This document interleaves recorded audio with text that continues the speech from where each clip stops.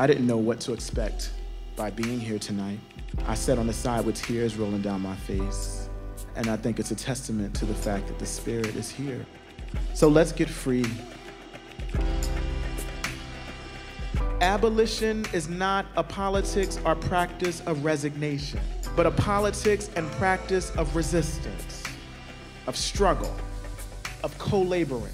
It is not just the closing of prisons, but the presence instead of vital systems of support that many communities lack.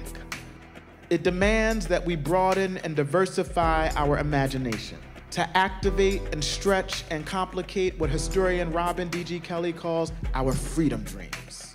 It comes from a desire to want a society that centers freedom and justice instead of profit and punishment. Abolition theology, it is an Afro-futurist theology. It is a queer theology.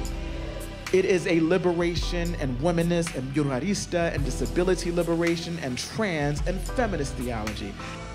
An abolition theology is an aspirational theology of repair.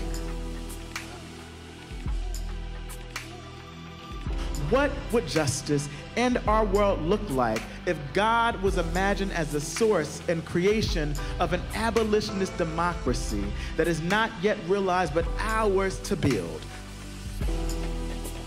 What would it mean and look like if we all decided to get free by releasing ourselves from the grips of the strong hands which too many of us have grown comfortable having around our necks? The work of freedom begins today. Right now. With me, with us, and we have a choice to be resigned with what we have are actively imagining into being and building future oriented communities that the articulation of our wildest and most liberative freedom dreams cannot even match.